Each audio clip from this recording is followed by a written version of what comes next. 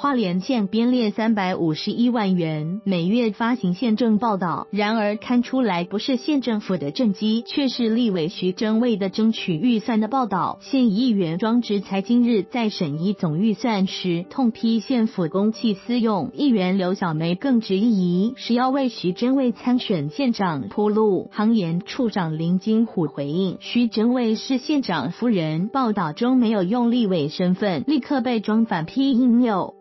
花莲县议会今日审议总预算，庄之才执询行研处编列三百五十一万元的县政报道，怎么都是徐祯伟的政绩？更反问花莲除县长夫人，没有其他立委吗？议员黄振富则呼吁县府在行政范围内编纂时应该公平公正。议员李秋旺则认为与县政有关，不反对县政报道立委政绩。另外，庄之才指出，行研处每年编四百万请律师告议员和媒体。刘小梅也列举历来至少有十名媒体记者因报道县府负面新闻，遭到县长傅昆奇控告妨害名誉，最后全数不起诉。此举根本就是花公堂滥告的行为。议员邱永双怒指，难道要通过预算来告我自己吗？更扬言删除这两笔预算。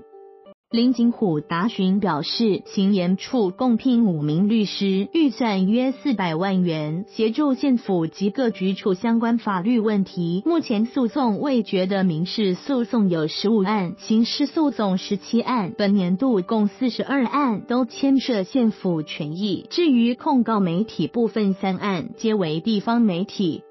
强调法律顾问费绝对不是用来告议员所用。宪政报道中都是立委徐征伟的政绩，有议员痛批县府公器私用。图徐庭阳翻社分享花莲县编列三百五十一万元发行宪政报道，内容中大部分都是立委徐征伟的争取预算的报道。图徐庭阳翻社分享花莲县政报道，看出的不是县政府的政绩。